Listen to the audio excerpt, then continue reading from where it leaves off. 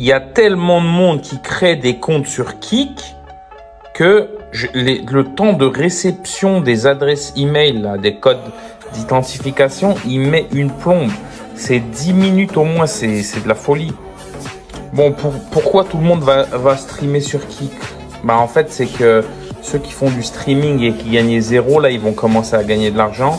Donc ça va devenir intéressant. Tous ceux qui veulent pas travailler, euh, qui sont, euh, qui aiment bien rester chez eux, etc. Bah, c'est mieux de faire du streaming sur qui? Regardez, ils disent, c'est le ça va être le concurrent direct de Switch, parce, de Twitch, parce que Twitch, en fait, ils ont mis plein de règles contraignantes, etc. Mais vous voyez là, regardez, ils disent 16 dollars. Vous voyez, hein, c'est écrit 16 dollars de l'heure à peu près.